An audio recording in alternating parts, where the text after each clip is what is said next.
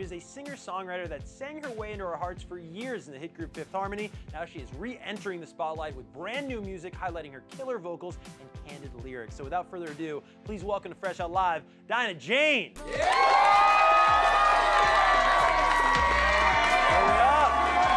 are you? You good? You good? You good? Good. How are you? Nice to see you. Nice to see you too. Dinah Jane, everybody. This is really, I mean, probably always a great time to talk to you, Dinah, but this is a really exciting time because it is the summer of Dinah Jane. You've been dropping music now. You're back in the game. It's so exciting. What has this process the past couple months been like for you, just dropping this It's been chaos. I mean, I stopped for like three years. So coming back into it, I'm like, wow, you did so much work before. Like getting back into the hustle and bustle of things.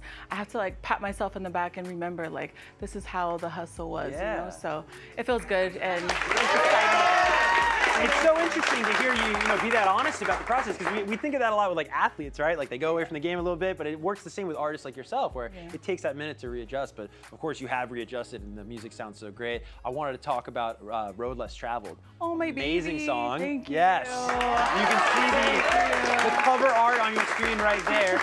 Um, I want to know everything about this song. Let's start with what does it mean? What does it mean to you?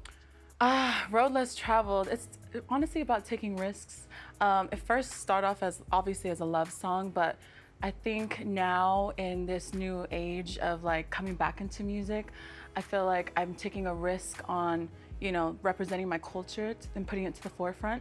Um, I feel like coming from a massive girl group, people have this image of you and they want you to stay in that pop lane and just do obviously the industry style. But for me, going backwards, I wanted to set a foundation. So I was like, it's only right to go backwards and pour back into me and where I come from. Yeah. And that to me is the road I'd rather take rather than the most traveled. Yeah. So it's That's really awesome. Now, uh, at the risk of a, of a bad pun, obviously the road does not end here. We have an exciting project to look forward to. That was a good to. one. Right? Hey. Oh, yeah, nice. I'm nice. here all week. Um, but at the end of this month, uh, we're going to get Forever Summer, the project. Yes. So talk to me about maybe the meaning behind Forever Summer and what went into that. Um, Forever Summer, it's like an island R&B esque type of vibe, and I'm it's like storytelling. So I'm talking about sometimes I may be toxic with this lover of mine, or I may be so in love and I'm just like, wow, I want him all the time with me. I'm a Cancer, so I'm a lover girl, like all the way. I love love, and um, it's just taking you on a journey of like my love experience and taking you on a journey of the sound, especially it goes like in the island route. So island reggae. Definitely. That's really awesome. exciting. And I, I have to Fresh. imagine, just personally, aside from being an artist, just this whole process you've gone through It has to be so empowering, right? Yeah. To just get back to those roots and must feel so good. It feels amazing. I mean, to even perform records to my people. Um, I've been attending a lot of festivals lately, so it's been really cool to like see them get excited, and in their eyes, it's like, oh my gosh, Dinah Jane, Dinah Jane. You know, um, I do things such as this TRL, and to be one of the first people in my culture to do and reach such heights, it it's very um, gratifying. So Definitely. very rewarding. Now, you also uh, worked with some amazing people on the record, and getting back to Road Less Traveled, you worked with Sam Fischer, Yes. who is so talented. We love Sam here at Oh, MTV. Did background yeah, I vocals, love of course. Sam. What was it like working with Sam? It was amazing. He made the process so easy. Wrote the song in like two hours. So I just told him what I was going through. I was like, I love this guy, and da da da da. da. And he was like, Oh, let's do it. This is what I hear.